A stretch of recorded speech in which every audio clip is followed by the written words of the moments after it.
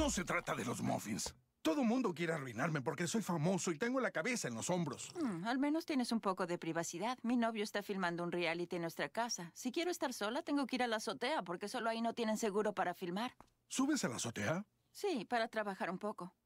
¿Te parece raro? No, es adorable. Cuando era niña, solía subir a la azotea con mi padre y mirar las estrellas.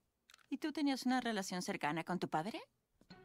¡Feliz Día del Padre, papi! ¿Qué se supone que es esto? ¿Un grano de frijol? Es un corazón. Esto está muy mal hecho, hijo. Hice lo mejor que pude. No lo hiciste. Te descuidaste. Tomaste el camino fácil. En la vida haces las cosas de la manera fácil o de la correcta. Si tomas un barco de aquí a Nueva York, ¿vas por el camino difícil como un caballero o cortas por el canal de Panamá como un demócrata?